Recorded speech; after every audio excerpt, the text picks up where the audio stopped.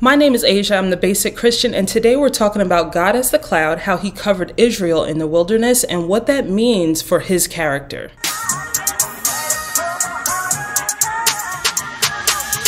As I make this video right now, God is actively delivering me. And recently, God has had me in the book of Exodus. I don't know about you, but I've really been intentional about learning God's character and making him a personal God, not just a God that sits far away on a faraway throne that sees me every now and then. I want God to sit on the throne of my heart. I want him to be in my spirit, part of my spirit, part of my being, part of my everyday living and everyday decisions. I know God sits on high, but I want him to sit on the throne of my heart. And in order to make God a personal God, I have to learn more about his character. So today, let's talk about God as the God who covers, corrects, and delivers. So, one of God's names in scripture is Jehovah Mephalti, which means the Lord my deliverer. I'll link it up here somewhere so you can watch it later if you're interested. But in one of the previous videos that I made, remember I was talking about a Hebrew word, and when the Hebrew word ends in I, that's normally a possession. That's showing a personal, my possession. So when you see I in Hebrew, it means my.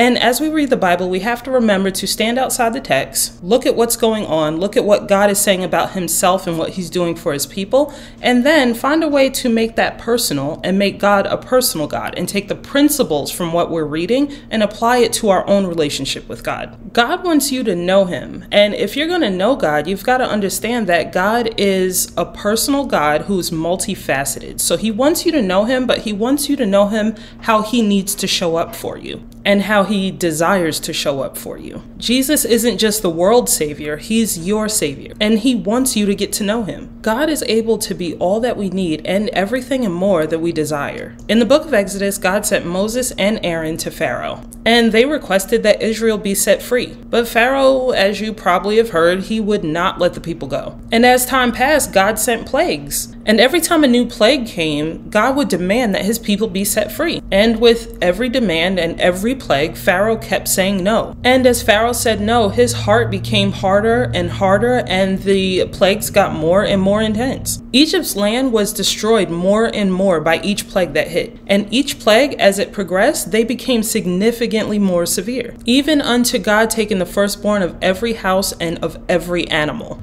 While God's people were set apart, Egypt suffered loss and damage, all because Pharaoh didn't want to free Israel. So every doorpost that was covered in the blood of the lamb was actually passed over. That's where the Passover comes from. God was serious about freeing Israel, and we see how serious God was about freeing Israel as soon as they hit the Red Sea. Israel was safe, Israel was freed, and as soon as Pharaoh tried to turn back around and leave out of the Red Sea, it crashed down on them. And after the miracle at the Red Sea, Israel found themselves themselves in the wilderness. They complained to Moses for water, and God gave them water. Then Israel complained about food. So God gave them food. He gave them manna in the morning and he gave them quail at night. And it was always enough to feed their household with nothing left over. No one was short and no one had excess. And to Israel in the book of Exodus, God shows us that he is a deliverer. He is Jehovah Mephalti. We serve a God who's multifaceted. Israel in the wilderness shows us that God is both a provider, a protector, and a deliverer. God can be all that you need him to be, whenever you need him to be, however you need him to to be. He is the I am. As time passed, Israel found themselves in the wilderness with clothes that didn't wear down and with food that didn't run out. God provided all that they needed, but in Exodus 13, verses 20 through 22, the Bible says So they took their journey from Succoth and encamped in Etham at the edge of the wilderness. And the Lord went before them by day in a pillar of cloud to lead the way,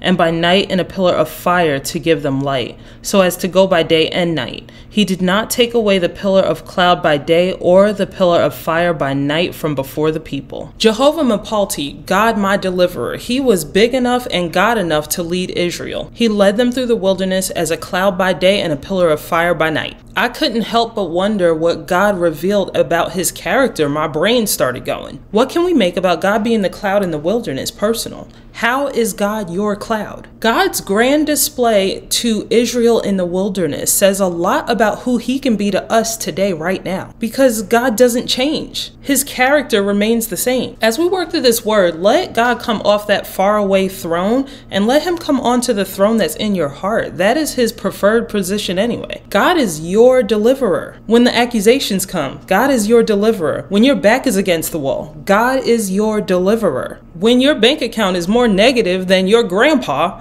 God is your deliverer. God is your deliverer. Jehovah Mephalti is your deliverer. He goes before you by day in the cloud, and he goes before you by fire in the night. Jesus will never leave you, he will never forsake you, and you only need to call his name. When Moses called on God to supply to Israel while they were in the wilderness, God delivered them as he was delivering them. God is more than able to meet your needs. He can provide even while he's in the process of providing. He was providing a new land for them. He was providing the promised land. He was providing freedom. And while he was providing those things, he was also providing quail. He was also providing manna. He was also providing water. He was also providing clothing that didn't tatter or tear. God provided while He provided. That's how good He is. He is able. He is Jehovah Mephalti. God chose to reveal Himself as a cloud. And it's amazing to look at our world and be able to see parts of God's character. God's imprint is rampant throughout all of creation. Clouds give us rain, and that rain nourishes the land. And the rain from heavy clouds brings life to plants and sustains the animals and replenishes waterways. In Deuteronomy 11, verses 13 through 14, 13, the Bible says, So if you faithfully obey the commands I am giving you today to love the Lord your God and to serve him with all your heart and with all your soul, then I will send rain on your land in its season, both autumn and spring rains, so that you may gather in your grain, new wine, and olive oil. God called for his people to love, follow, and obey him. And if they did that, God guaranteed that they would be blessed. God showed up to Israel in the wilderness as a rain bringer for a reason. I pray that as you love, follow, and obey Jesus, that He reigns on your life. I pray that He opens the heavens above you. I pray that He gives you a blessing that you cannot hold. I pray that the reign of Christ falls on your life so fully that you have to start giving things away because your hands are so full that you don't know what to do with it. You are so blessed beyond measure that you can't measure. All you can do is say thank you. Jesus is more than able and He's more than willing. You have only three steps to follow love the Lord with all your heart, follow Him, and obey Him. And according to God's word, when the season is right, when the season is right, it will rain. God is in the cloud. He's shielding you, He's covering you, He's protecting you, and He's guiding you, and He's raining on you. Everyone loves a nice sunny day. 75 degrees, a cool breeze, a few clouds in the sky. You can go for a walk, you can take your kids to a park, you can go to a cookout or a barbecue, you can play soccer, you can play a sport outside, whatever you like to do outside. Everyone loves those moments. But what about when God is the cloud that brings lightning that affects your vision? And what about the God as the cloud that brings torrential rains that washes away all the useless things? And what about when that cloud twists just enough to become a tornado? And when that tornado forms, it touches down and it uproots everything in your life. Is God still good? And is God still God if He's the same cloud that's the 75 degree day and the same cloud that allows the tornado? Is God still your deliverer, Jehovah Mephalti, if he uproots everything in your life. All throughout the Bible, we're described as plants and trees. And God allowed that for a reason. In the first Psalm, verses 1 through 6, the Bible says, Blessed is the man who walks not in the counsel of the wicked, nor stands in the way of sinners, nor sits in the seat of scoffers, but his delight is in the law of the Lord, and on his law he meditates day and night. He is like a tree planted by streams of water that yields its fruit in its season. From my own personal experience, I can tell you that when you love God, when you follow God, and you serve God, sometimes God is the cloud that brings a tornado. Even though you have to face a tornado, even though things around you are going haywire, even though the world looks fallen and broken, even though the people around you have completely lost their minds, The tornado has an eye, and it sits in the cloud. Just when it seems like everything in life is being uprooted and torn apart and shaken, you are in the eye. Jesus rids you of the things and the people who are not for you. And at the same time, while he's uprooting everything around you, he also keeps you. You are under the cover of his watchful eye. You are under the cover of his cloud. And you are deeply loved by the God who is the cloud who controls all things. Israel began to know God as Jehovah Mephalti, as the God that delivers and the God that covers, and through the Red Sea as the tornado that destroys and preserves all at the same time. As they went into the Red Sea, it parted and they made their way to the shoreline. The Bible says that the water stood like a corridor to them, but as it stood open and dry for them, those same corridor waters of the Red Sea crashed down on Pharaoh and all of his people. God preserved his people as he destroyed their oppressors. Even in the natural elements of escaping Egypt and being in the wilderness, God was displaying his character and who he was and who he wanted to be to them. God was revealing his character as the great I am. God was causing Israel to have deeper faith as they were being delivered. Jesus wants us to be planted in Him like trees. And when a tornado touches down, it's not just big trees that get saved, it's the little trees with the deep roots, it's the big trees with the deep roots.